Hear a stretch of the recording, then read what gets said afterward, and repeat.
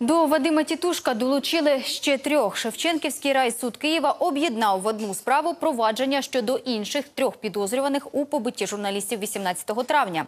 Про це сьогодні повідомила постраждала журналістка Ольга Сніцарчук. Нагадаю, під час мітингу опозиції в Києві молодики побили медійників Ольгу Сніцарчук та Влада Соделя.